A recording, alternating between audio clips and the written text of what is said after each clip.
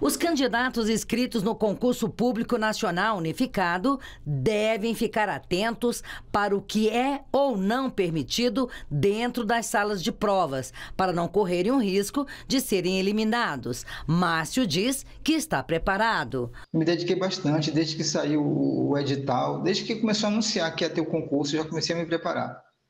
E depois saiu o edital, que eu fiz a inscrição, aí que eu intensifiquei os estudos mesmo. Então vamos lá, o passo a passo. Ao chegar no local de prova, os candidatos deverão apresentar o cartão de confirmação de inscrição, que poderá ser impresso já a partir do dia 25 do 4 na página do candidato. E junto deve estar o documento de identidade original com foto. A cópia do documento de identidade não será aceita mesmo que autenticada. Já no caso de documentos digitais, ele deve ser acessado no aplicativo no momento da identificação. Por isso, é importante ter o aplicativo baixado no celular.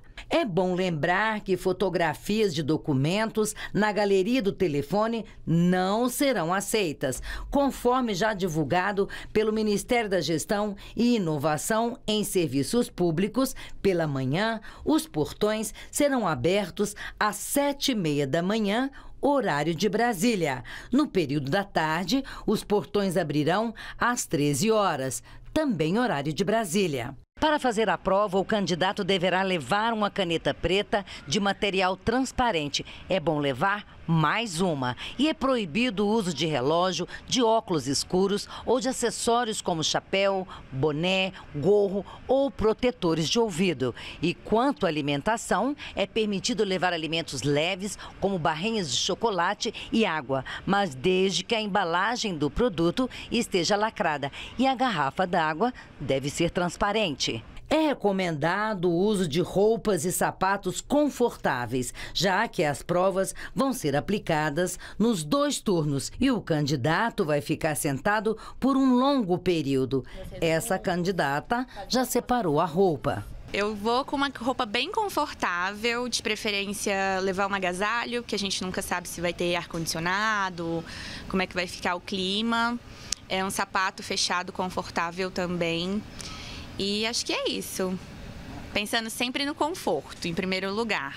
Agora, atenção: o candidato será eliminado se pego usando algum aparelho sonoro ou equipamentos eletrônicos e de comunicação. Haverá eliminação também se o candidato for surpreendido conversando com outro concorrente durante as provas. Não será permitido levar para casa o caderno de provas em qualquer um dos turnos. E o tempo mínimo de permanência para fazer as provas em cada cada um dos horários de manhã e à tarde será de duas horas.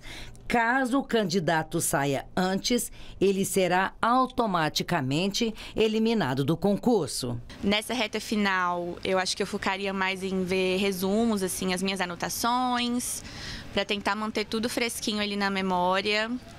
E quando chegar mais perto da data da prova, tentar dar uma relaxada, dormir bem, se alimentar bem para conseguir fazer a prova, e já que é um dia inteiro de prova, é bem cansativo, então a gente precisa pensar nessa parte também, né, do nosso físico e do nosso mental.